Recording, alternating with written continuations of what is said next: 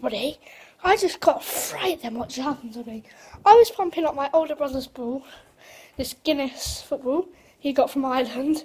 I don't think he'd be very happy with me, but it's quite funny. I was pumping it up. I was like, I boot my other football over to my school because I just live right around the, I live around the, my school's just at the back. But I put the ball in, so I was like, oh, I found this football, I get it. I was pumping up. Like, no joke, it just, the ball just exploded. That, down there, is what has happened to the ball. Like, I'm scared to go near it, it explodes again. The balloon inside the football, wait, I'm showing you, um,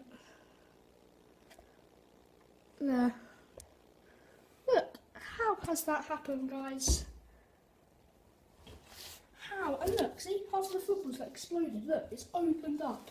Wait, let's switch the light on.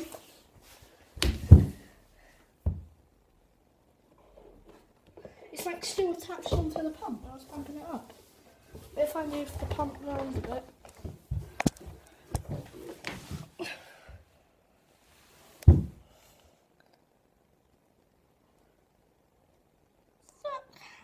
That happened?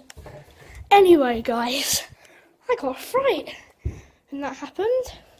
I was like, just like, pump up. I was like, whoa! Whew, oh my god! I was like that.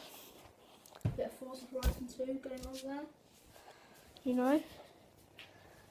Yeah. We go fire station.